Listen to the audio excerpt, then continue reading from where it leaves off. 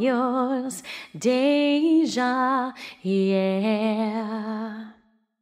One happy birthday dot com.